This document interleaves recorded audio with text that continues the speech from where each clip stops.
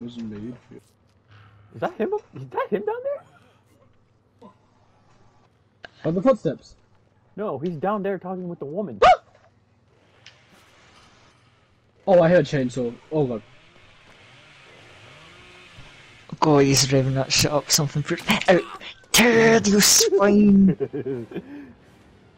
Ted is an imposter, he's helping the killer.